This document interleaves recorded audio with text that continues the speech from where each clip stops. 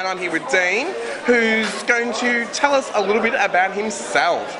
Yes. I am a cabaret comedian. I've been performing solo performances in Melbourne for the past five years, quite a few Midsumma. I just came back from Mardi Gras, in fact. And yeah, I've been jumping around singing and dancing and making people laugh and being inappropriate, which I love. How have you enjoyed tonight's show so far? Tonight's been fantastic. The crowd has been so much fun. They were so welcoming for me, which I love.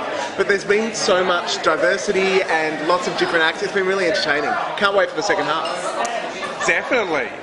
So, have you got any performances coming up for us?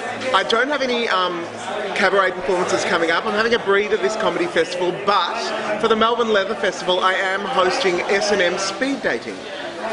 S&M speed dating. It's speed dating with a bit of a twist. Oh.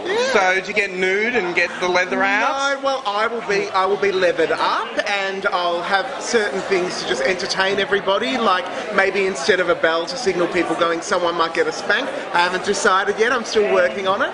But the trick is to get some kinky people together, maybe some shy kinky people, and have them have a bit of a friendly flirt. Did Rihanna um, Oh, inspire you? S and M will definitely be played in the evening.